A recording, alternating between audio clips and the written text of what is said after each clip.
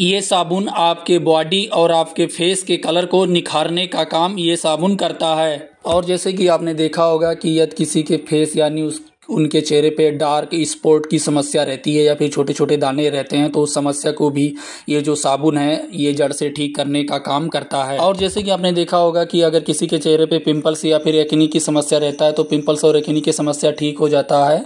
उसके बाद में उनके चेहरे पर दाग धब्बे की समस्या रहता है तो उस समस्या को भी ये ठीक करने का काम करता है। और इस साबुन का उपयोग स्किन से रिलेटेड किस प्रकार की दिक्कत, किस प्रकार की समस्या हो जाती है, तब डॉक्टर के द्वारा ये साबुन प्रेस्क्राइब किया जाता है। ये साबुन और क्या काम करता है? स्किन से रिलेटेड किस प्रकार की दिक्कत, किस प्रकार की समस्या को ठीक करने का काम करता है? इसका डोज क्या होता है? इसका साइड इफ़ेक्ट क्या होता है? इसको यूज़ कैसे करना होता है? इसके बारे में आज हम आपको, आप इस वीडियो में हिंदी में जानकारी बताएँगे। ये साबुन आपके स्किन को गोरा और शाइनिंग करने का काम करता है, यानी आपके स्किन पर ये चमक प्रदान करने का काम ये साबुन करता है। और जैसे कि आपने देखा होगा, अगर किसी के चेहरे पर या फिर पिंपल्स हो जाता है या फिर हम कह सकते हैं एकनी की समस्या रहता है पिंपल्स और एकनी की समस्या ठीक हो जाता है, उसके बाद में उसके स्किन पर आपने देखा होगा वो दाग यानी वो निशान पड़ जाता है पिंपल्स और एकनी का निशान उसके स्किन पर पड़ जाता है तो उस समस्या को भी यानी उस निशान को भी ये रिमूव करने का काम करता है, यानी उसे ये ठीक करने का काम करता है।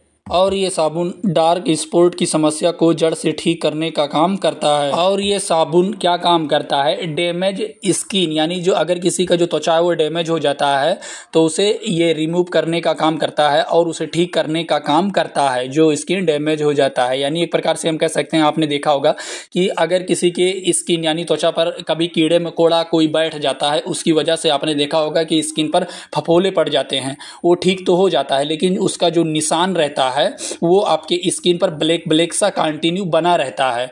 तो उस समस्या को भी साबुन जड़ से ठीक करने का काम करता है। और भी स्किन से रिलेटेड बहुत सारी दिक्कत बहुत सारी समस्याओं में डॉक्टर के द्वारा। ये साबुन आपके स्किन को गोरा सुंदर और खूबसूरत बनाने का काम ये साबुन करता है। और जैसे कि ये साबुन मिलाजमा की समस्या को भी ये ठीक करने का काम करता है। आपने देखा होगा कि अगर किसी के फेस पर मिलाजमा नाम की समस्या हो जाता है, स्किन से रिलेटेड तो उस समस्या को भी ये जो साबुन है, ये ठीक करता है। और जैसे कि हमने आपको बता ही दिया है, ये एक्निक और पिंपल्स कि जो दाग धब्बे की समस्या रहता है एकनिक और पिंपल्स की समस्या जब ठीक हो जाता है उसके बाद में जो स्किन पर दाग धब्बे की समस्या रहता है उसे भी ये ठीक करने का काम करता है। यानी एक प्रकार से हम कह सकते हैं दाग धब्बे की अगर समस्या रहता है तो उसे ये जड़ से रिमूव करने का काम ये साबुन आपके स्किन को गोरा करता है शाइनिंग करता है खूबसूरत और सुंदर और अच्छा आपके स्किन को बनाता है। यानी स्किन पर अगर किसी भी प्रकार का दाग धब्बे की समस्या रहता है तो इन सारी समस्याओं को ठीक करने का काम ये साबुन करता है। चलिए अब हम आपको बताते हैं ये साबुन आपको अपने स्किन पर अप्लाई कैसे करना होता है? ये साबुन आप दिन में दो से तीन बार आप अपने स्किन पर अप्लाई कर सकते हैं। जैसे आप पहले जो साबुन यूज़ करते थे ठीक उसी प्रकार से ये साबुन आपको यूज़ करना होता चलिए अब हम आपको इस साबुन के साइड इफ़ेक्ट के बारे में बताते हैं। इस साबुन का क्या क्या साइड इफ़ेक्ट देखा गया है? जैसे कि इस साबुन का कोई भी खास साइड इफ़ेक्ट नहीं देखा गया है बट अगर ये साबुन लगाने के बाद में अगर आपके स्किन पर रेडनेस की समस्या आ जाए खुजली के जैसा होने लगे भबक के जैसा महसूस होने लगे तो ये साबुन है जो आप तुरंत बंद कर दें और अपने डॉक्टर या फार्मासिस्ट से तुरंत संपर्क करें। इसके अलावा यदि आपके स्किन पर और कोई दिक्कत और कोई समस्या है या फिर स्किन से रिलेटेड किसी प्रकार की समस्या है तो एक बार अपने डॉक्टर या फार्मासिस्ट के पास आप जाएँ, आप अपनी दिक्कत परेशानी बताएँ, उसके बाद में कोई भी मेडिसिन कोई भी सॉप कोई भी क्रीम उपयोग करें। कभी भी आप कोई भी मेडिसिन कोई भी सॉप कोई भी क्रीम खुद से उपयोग ना करें।